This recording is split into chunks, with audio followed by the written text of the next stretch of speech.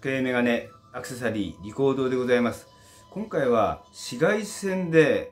発色するですね、ホヤのあの、ちまあ、超光レンズと言いますが、そのセンシティというあのレンズをご紹介したいと思います。まあ、今回ですね、レンズ交換なんですが、あの今までもですね、あの、ホヤのこういう超光レンズ使ったんですが、今回は超光レンズがちょっと名称も変わりまして、あの、センシティという名前だって、まあ、通常の紫外線にこう反応するタイプと、その可視光線と言いましてですね、あの、車の、例えばフロントガラス、まあ、車の中でもですね、あの、色が変わる、そういうタイプなんですね。今回ちょっと運転もちょっと考えて、あの、こういう、こっちの方に、センシティダークの方にですね、今回あの、取り替えます。